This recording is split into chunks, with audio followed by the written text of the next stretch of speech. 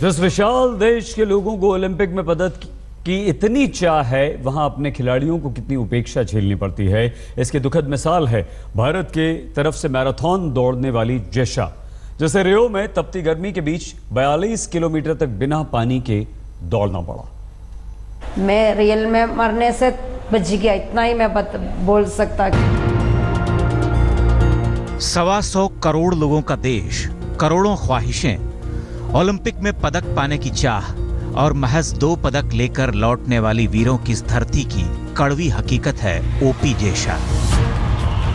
जो रियो में भारत के लिए मैराथन दौड़ रही थी, लेकिन 42 किलोमीटर की उस दौड़ में आग उगलते आसमान के नीचे पानी का एक प्याऊ लेकर भी भारतीय ओलंपिक दल का कोई सदस्य खड़ा नहीं था।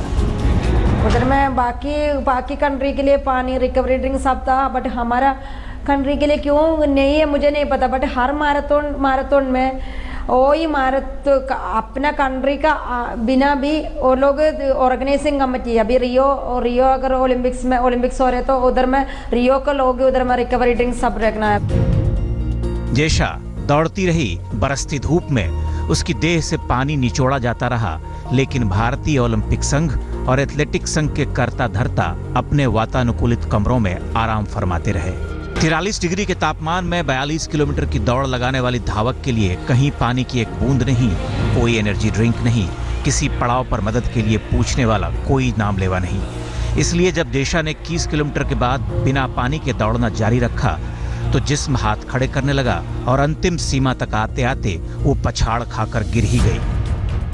रियल में मैं, मेरा हालत बहुत ख़राब था और मैं रियल में मरने से बच गया। इतना ही मैं बत, बोल सकता क्योंकि ऐसा हालत था मेरा मैराथन का बाद डिहाइड्रेट हो गया था मेरा पूरा बॉडी में।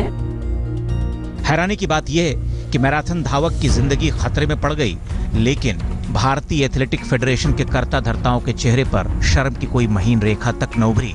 उल्टा फेडरेशन धावक को ही गलत ठहराने में लगा है। Only personal drinks we are suppose to give her But they, when, when on the previous day before the competition, we asked her coach as well as OP Jaisha, they said they, there is, they don't want any personal drinks. Don't think, and if we give water in between, that she will get disqualified. ये वही देश है जिसे Olympic में पदक चाहिए ये वही देश है जहाँ खिलाड़ी आर्थिक सांस्कृतिक और राजनीतिक संघर्ष करके खेलने आते हैं जहाँ महिला खिलाड़ियों को मर्दाना अधिनायकवाद हिकारत से देखता है लेकिन तब भी पदक उन्हीं महिलाओं से मिलता है और वही महिलाएँ मौत के कगार पर जाकर लौटती हैं। जिस देश में ओलंपिक संघ की मानसिकता ऐसी हो, उस देश को दो पदक मिल जाए तो वो भी बड़ी उपलब्धि है। वरना अपने खिलाड़ियों को कीड़े मकोड़े समझने वाले संघ की छत्र छाया में पदक की आशा बेईमानी ही तो है। चेन्नई से अक्षया के साथ आज तक ब्यूरो।